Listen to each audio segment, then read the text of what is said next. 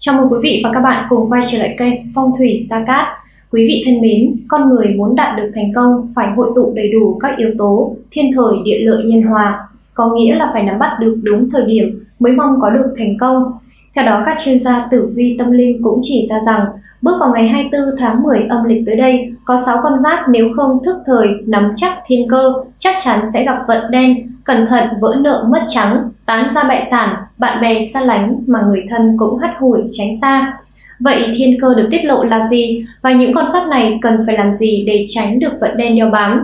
Những con sắt đen đuổi trong ngày này là những con sắt nào? Xin mời quý vị cùng theo dõi những phân tích ngay sau đây.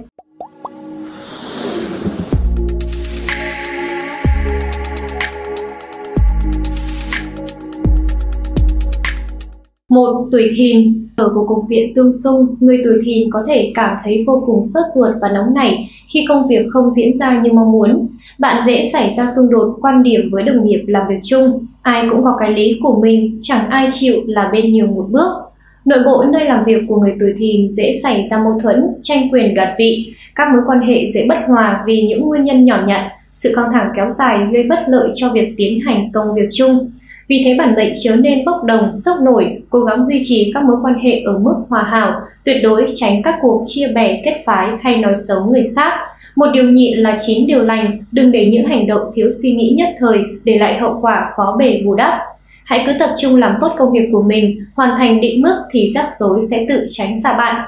Có thể bạn không vui khi đối phương có quan điểm trái ngược với mình, nhưng đừng quá bức xúc, Việc gắn kết người khác cần có thời gian, đôi khi xung đột cũng là cách để hai bên xả hết mọi bức bối trước khi có thể gắn bó thân thiết với nhau hơn. Chuyện tình cảm của tuổi thìn cũng không mấy suôn sẻ, những lời nói ra nói vào của người, những lời nói ra nói vào của người ngoài ảnh hưởng lớn đối với mối quan hệ của hai bạn. Nếu lập trường không đủ kiên định, cả hai có thể sẽ lạc mất nhau bởi quá xem trọng ý kiến của người khác. Để được may mắn hơn trong thời gian này, những gia chủ tuổi thìn cần luôn mang theo bên mình vòng tam hợp quý nhân thân tí thìn để trợ mệnh, giúp thân mệnh vững chắc, chiêu mời quý nhân giúp đỡ, hóa giải những vận hạn đen đủi, từ đó giúp gia chủ thâu thu tài lộc, may mắn và bình an. 2. Tuổi Tỵ Thực thần chiếu mệnh giúp đường tài vận của người tuổi tỵ tham tiến không ngừng, tài lộc hanh thông. Người làm công ăn lương ngoài công việc chính thì nay có thêm việc phụ, kiếm tiền bằng chính tài năng của mình, thu nhập nhanh chóng được cải thiện. Điểm báo tiểu nhân đeo bám khá rõ, bạn không thể nhàn tản hay chủ quan được đâu. Cũng nên tránh ôm đồm quá nhiều việc vào lúc này. Phải thật cẩn trọng trong việc tin tưởng người xung quanh, đề phòng bị đánh sau lưng. Nếu không giữ được sự bình tĩnh để nhìn nhận vấn đề vào lúc này, bạn sẽ càng gây ra sai lầm nghiêm trọng hơn, khiến sự tín nhiệm của cấp trên vơi đi ít nhiều. Trong khi đó, những người theo nghiệp buôn bán cũng có một ngày làm ăn phát tài phát lộc, giành được thành công trong việc kinh doanh của mình. Cũng bởi con sắt này biết chất lọc thông tin, đón đầu xu hướng, đáp ứng nhu cầu khách hàng nên không lo vắng khách. Hỏa sinh thổ còn mang tới may mắn cho tị ở phương diện tình cảm lứa đôi. Dù còn độc thân hay có đôi có cặp thì cũng đều có tin vui về nhân duyên. Chẳng có gì bất ngờ nếu bạn có một ngày tình yêu thăng hoa. Hãy cùng đối phương tận hưởng giây phút này.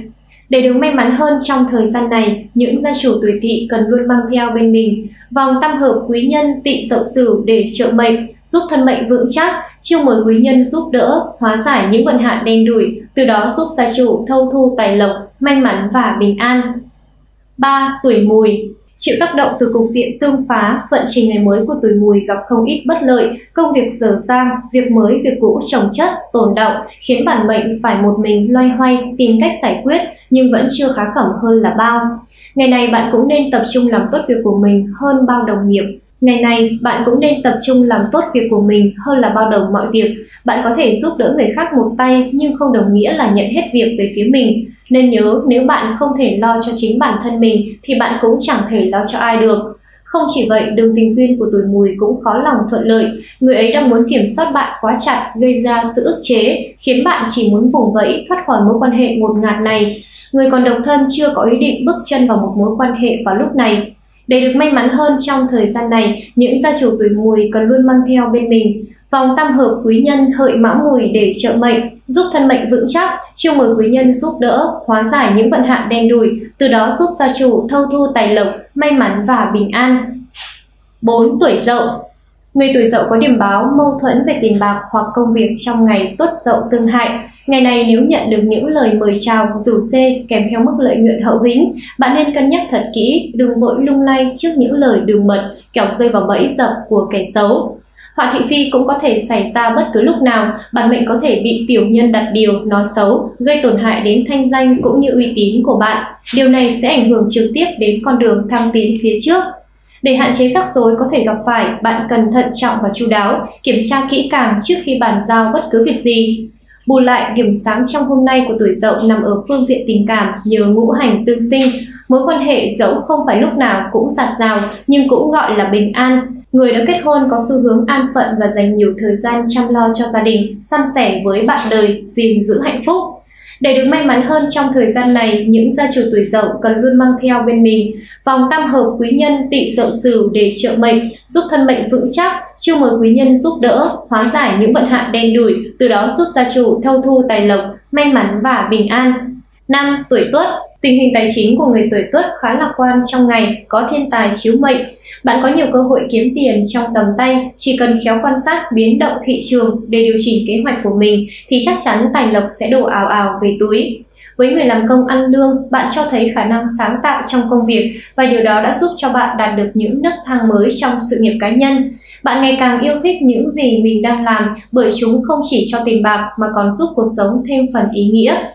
Để được may mắn hơn trong thời gian này, những gia chủ tuổi tuất cần luôn mang theo bên mình vòng tam hợp quý nhân dần ngọ tuất để trợ mệnh, giúp thân mệnh vững chắc, chiêu mời quý nhân giúp đỡ, hóa giải những vận hạn đen đủi, từ đó giúp gia chủ thâu thu tài lộc, may mắn và bình an. 6. Tuổi hợi rất nhiều kế hoạch đang tiến triển bỗng xảy ra trục trặc nửa chừng, người tuổi hợi phải thường xuyên phải chạy đôn chạy đáo lo cho công chuyện, áp lực từ cấp trên cũng không hề nhỏ. Đã vậy, mệnh chủ còn không gặp được bao nhiêu sự hỗ trợ từ người khác, hầu như luôn phải tự thân càng đáng một mình, làm không khéo còn dễ bị người khác gây khó dễ, tạo điều tiếng, thị phi, ảnh hưởng tới đường tiến thân.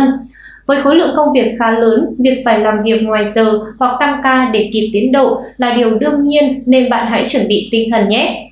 Cũng nhờ những cố gắng và nỗ lực của con giáp này mà hiệu quả công việc được nâng cao đáng kể. Dù có bận rộn hơn trước nhưng bản mệnh vẫn giữ vững phong độ, còn biết cách cân bằng cuộc sống nên xử lý mọi việc ổn thỏa, cơ hội thăng tiến trong tương lai rất lớn. Kẻ xấu xuất hiện trong thời điểm này có thể tìm cách gây hại, khiến tiền bạc của bạn dễ hao hụt một khoản khá lớn. Do đó, dù làm việc gì, bạn cũng phải tỉnh táo và xem xét mọi cơ hội một cách cẩn thận. Thời điểm này bạn cũng nên hạn chế đầu tư kinh doanh, đừng vội tin lời dụ dỗ ngon ngọt và vung tiền vào những lĩnh vực mình chưa có nhiều kinh nghiệm.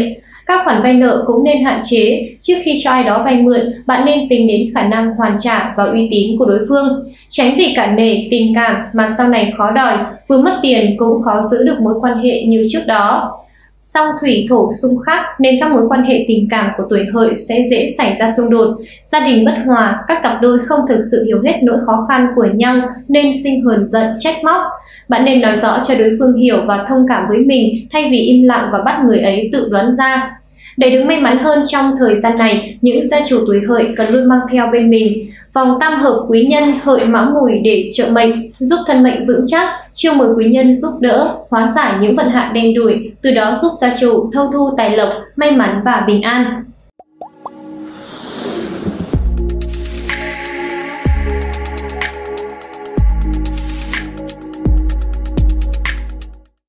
Hy vọng những nội dung trong chương trình ngày hôm nay đã giúp quý vị và các bạn có được những thông tin hữu ích hơn nữa. Rất cảm ơn quý vị đã quan tâm và theo dõi chương trình. Mọi thắc mắc của quý vị hãy để lại comment bên dưới ô bình luận hoặc gọi điện trực tiếp đến số 0989 34 9119 để được tư vấn chi tiết. Quý vị đừng quên bấm like, đăng ký kênh và nhấn vào chuông để nhận thông báo mới nhất của kênh và đừng bỏ qua bất kỳ video và thông tin mới nhất nào của chúng tôi. Xin chào và hẹn gặp lại quý vị trong chương trình tiếp theo.